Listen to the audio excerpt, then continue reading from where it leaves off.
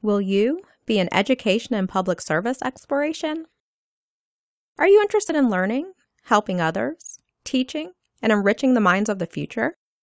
Are you interested in community service or political activism? If so, you should look into Education and Public Service Exploration.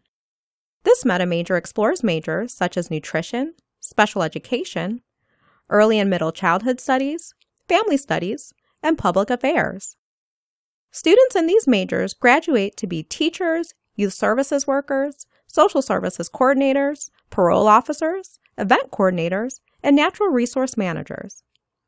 This is the perfect place to start for those interested in education but unsure of whether K 12 is the right path, or those interested in policy, law, and social justice.